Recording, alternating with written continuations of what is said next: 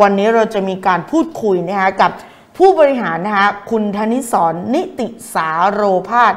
รองกรรมการผู้จัดการสายงานการเงินและบัญชีบริษัท ชีวาไทยจำกัด มหาชนหรือว่าชีวา ตอนนี้นะคะอยู่ในรายการกับบอลแล้วก็อาจารย์แม่แล้วนะคะขออนุญาตต้อนรับค่ะสสวัวัสสดีดีค่ะค่ะ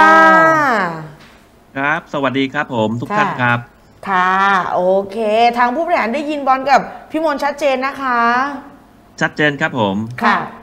อันดับแรกเลยค่ะ เดี๋ยวแนะนำหน่อยอ่าโครงการของชีวาทัยนะค่ะเราพัฒนาอสังหาริมทรัพย์เอ่อแบรนด์ไหนยังไงบ้างคะ ครับผมก็ในส่วนของชีวาทัยนะครับ ก็จะมีตัว product นะครับ ทั้งตัวค่ะแนวราบแล้วก็แนวสูงนะครับค่ะอ่าตัวแนวสูงเนี่ยก็จะเป็นคอนโดที่อยู่ทั้งในตัวใจกลางเมือง แล้วก็ตัวอ่าอ่า รอบนอกของกรุงเทพนะครับค่ะส่วนแนวราบก็เช่นกันครับ เรามี product ตั้งแต่อ่ากลุ่ม high-end นะครับ แล้วก็ไปถึงตัวกลุ่มทาวน์โฮมนะครับค่ะนะฮะก็มีทั้งในหลักๆ จะมีในกรุงเทพแล้วก็ปริมณฑลครับอืครับมผมค่ะค่ะ โอเค อย่างที่บอลเกริ่นไปค่ะ ตั้งแต่ต้นรายการบอกว่ามาตรการ LTV เนี่ยจะค่ะเริ่มใช้แล้ว 1 มกราคม 2566 ตรงนี้เรามองว่ามันจะส่งผลต่อธุรกิจ หรือว่าโครงการของชีวาไทยหรือไม่อย่างไรคะเอ่อ ตัว LTV ต้องเรียนว่าจริงๆเอ่อมาดูกันว่าไอ้ตัวผลกระทบสิ่งที่มันจะเกิดเนี่ยอ่าในภาพค่ะรวมมันจะมันจะกระทบอะไรอย่างไรบ้างนะครับค่ะอ่าหลักๆผมผมดูไอ้ตัวที่ราคาที่อยู่อาศัยก่อนแล้วนะครับ เอาค่ะตัว 10 ล้านมาตัดนะครับ เพราะว่าตัวที่ได้รับผลกระทบหนักๆ น่าจะเป็นราคามูลค่าตั้งแต่ 10 ล้านบาทขึ้นไปนะครับค่ะซึ่งค่ะตรงนั้นเนี่ยได้รับผลกระทบโดยตรงเลยอืมอ่าต้องเรียนว่าชีวาไทยเราเองเนี่ยโปรดักที่อยู่ในราคา 10 ล้านขึ้นไปเนี่ยเราเรามีไม่มาก นะครับค่ะค่ะผลกระทบที่ได้รับโดยตรงก็ก็คงจะไม่มากนะครับค่ะเอ่อส่วนกลุ่มที่ 2 ที่ต่ำกว่า 10 ล้านบาทเนี่ยก็หลักๆตัวบ้านหลังแรกคงไม่มีปัญหานะครับค่ะเพราะว่าค่ะยังสามารถกู้ได้ตัวอัตราเดิมนะครับ100%เต็มอยู่แล้ว แล้วก็อาจจะมีท็อปอัพในเรื่องของตัวที่จะตกแต่งเพิ่มนะครับค่ะแต่ตัวที่ได้รับผลกระทบรองลงมาก็น่าจะเป็นบ้านหลังที่ 2 แล้วก็หลังที่3นะครับค่ะที่เปอร์เซ็นต์ของการกู้เนี่ยก็จะลดหลั่นกันลงไปอ่าตรงนั้นเนี่ย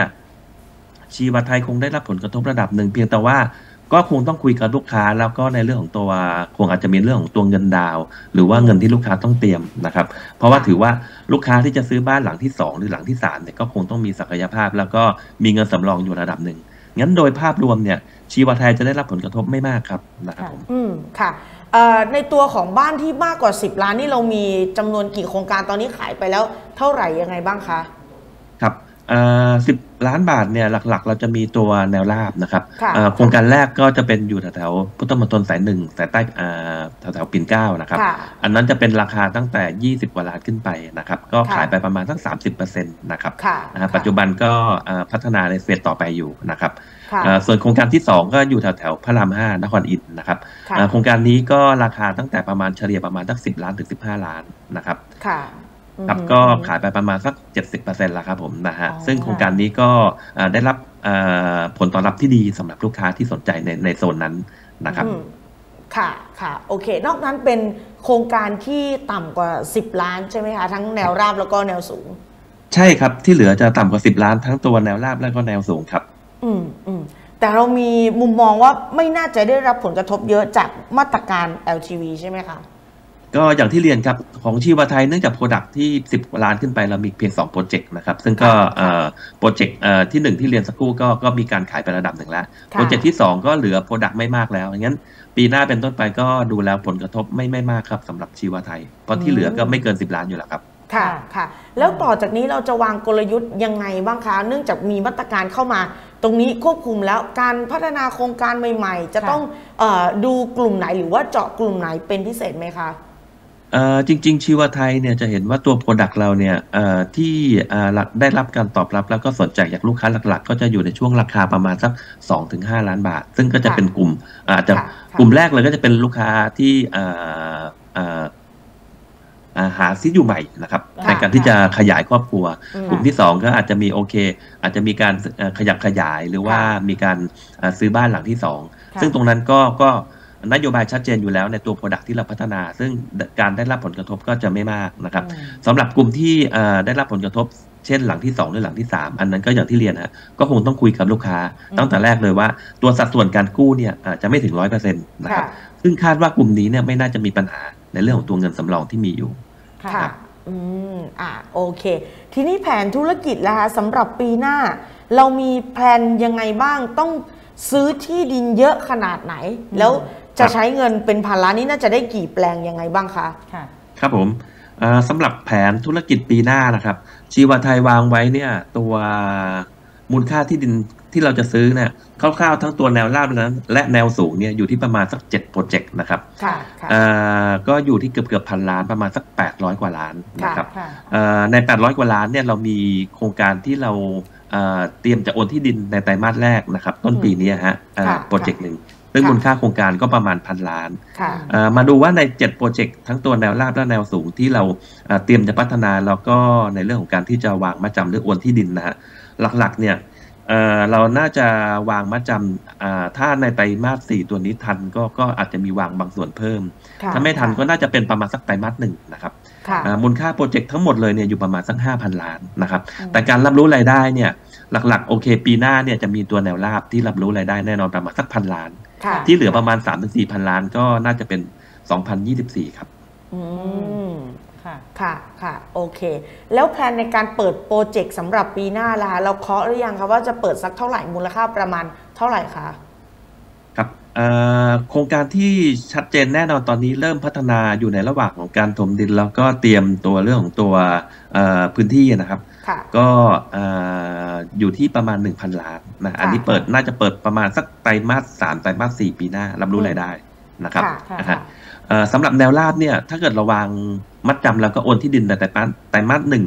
ค่ะก็ยังพอจะทันในไตรมาสสามไตรมาสสี่ปีหน้าเช่นกันนะครับอืมส่วนแนวสูงเนี่ยก็น่าจะรับรู้รายได้แต่ประมาณสัก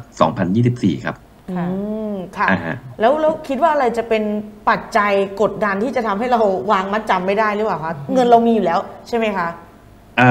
อไม่น่ามีปัญหาครับในเรื่องของค่ะการจะเพียงแต่ว่าตอนนี้เนี่ยก็ขึ้นอยู่กับทางเอ่อในหน้าที่ดินแล้วก็เจ้าของที่ดินแหละครับค่ะเขาอยู่ในการอ๋ออยู่ในขั้นตอนของการเจรจาในบางแปลงนะครับอ่าฮะค่ะแต่ก็มีอยู่สองสามแปลงที่อ่าเตรียมเงินที่จะวางวางมาจำนะครับ เพราะว่าอ่าไตรมาสก่อนก่อนจะปิดสิ้นปีนี้เราจะมีวางแนวสูงอีกอีกหนึ่งแปลงเช่นกันค่ะนะฮะค่ะ อันนี้ก็เตรียมเงินเตรียมสัญญาอะไรกันเรียบร้อยแล้วฮะนัดจะเซ็นสัญญาประมาณสักสัปดาห์หน้าเนี่ยครับอืค่ะมค่ะครับโอ้นี่สัปดาห์สุดท้ายของปีเลยใช่ไหมคะจะเซ็นสัญญาเอ่อก็ฉลองก่อนสิ้นปีครับโอ้โห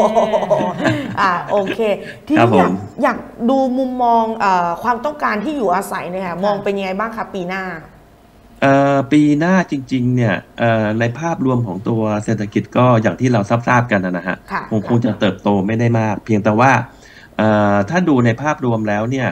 เอ่ออสังหาก็ก็ยังโตได้อยู่เพียงแต่ว่ามันก็มีปัจจัยทั้งปัจจัยที่มันมันหนุนแล้วก็ปัจจัยที่มันเอ่ออาจจะส่งผลกระทบนะครับ ค่ะค่ะนะฮะอืมตอนนี้ปัจจัยที่หนุนเนี่ยหลัก ๆ ก็หลังจากที่มัน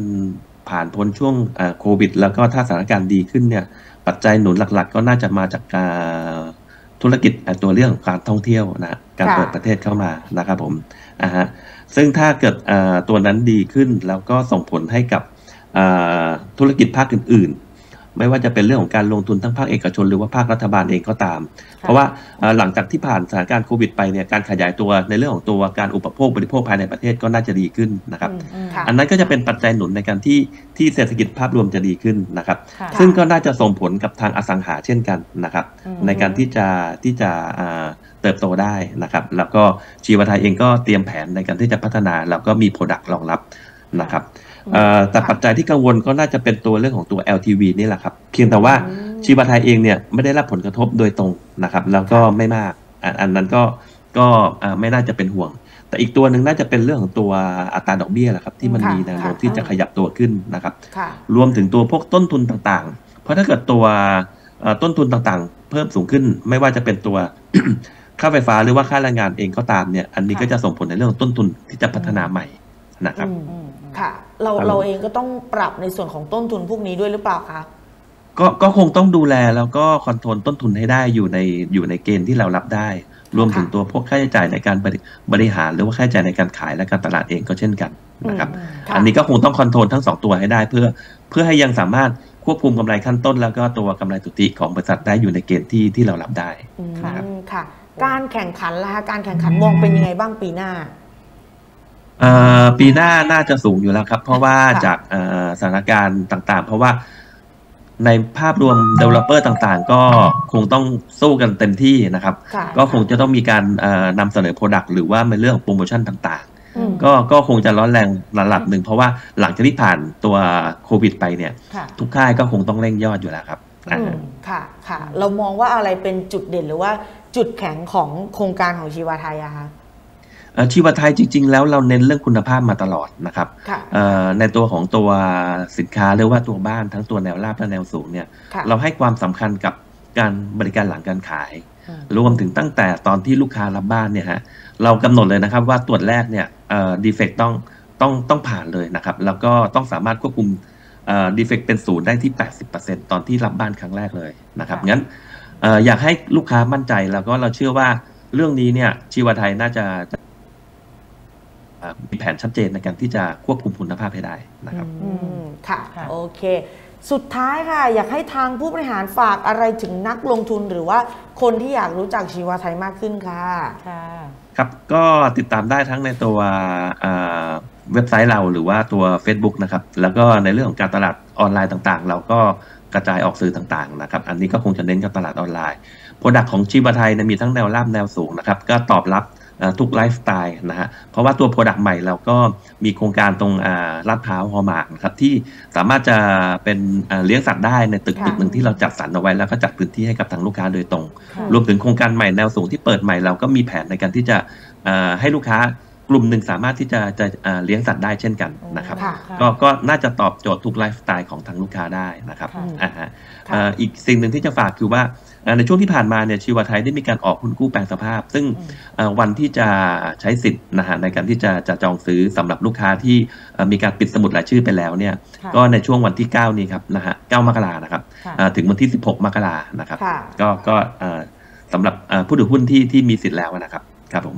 โอเคโอเคค่ะได้ค่ะ วันนี้ขอบพระคุณทางผู้บริหารมาก ๆ นะคะ ที่ร่วมพูดคุยกับบอลแล้วก็พี่หมดในรายการวันนี้ขอบพระคุณค่ะ ขอบพระคุณค่ะ ครับผม ขอบคุณมากครับ ครับ สวัสดีครับค่ะ